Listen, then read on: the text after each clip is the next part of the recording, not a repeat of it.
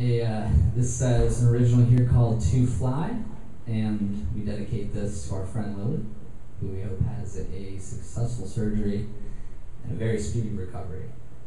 It's called To Fly.